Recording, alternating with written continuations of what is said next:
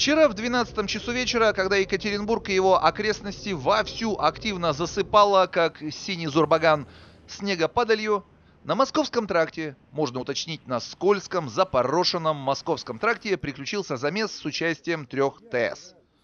Фуры Вольво и двух подорожников. Декорация такая. Вечер, естественно, темно, по искусственно подсвеченному и, естественно, присыпанному Московскому тракту в сторону уральской столицы катятся фура «Вольво» с 750-ми подмосковными номерами, и за ней на некотором расстоянии два легких болида – «Рено Логан» и «Лада Приора».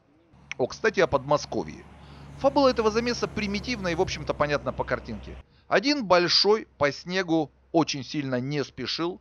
Второй маленький, он же Рено Логан, на летней резине его догнал и забился под левую часть фуры.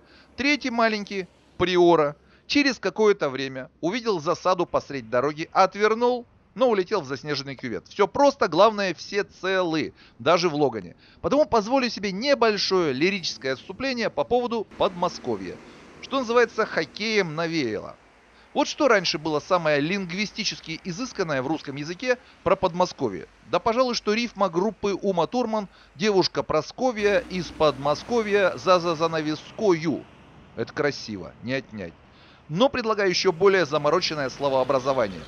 Сейчас в финале Кубка Гагарина против ЦСКА со стороны Востока играет «Авангард», который по рождению из Омска.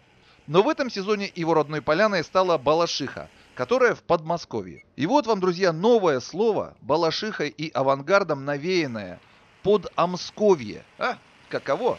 Но к замесу на подомсковском, на московском тракте оно отношения не имеет.